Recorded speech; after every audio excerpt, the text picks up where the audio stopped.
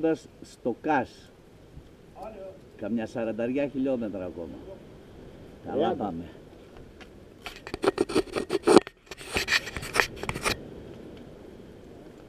Πάμε μωρέ άρρωστη.